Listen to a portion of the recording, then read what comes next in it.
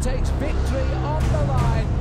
André Greipel qui résiste à tout le monde. André Greipel encore les quelques derniers mètres. La victoire d'André Greipel.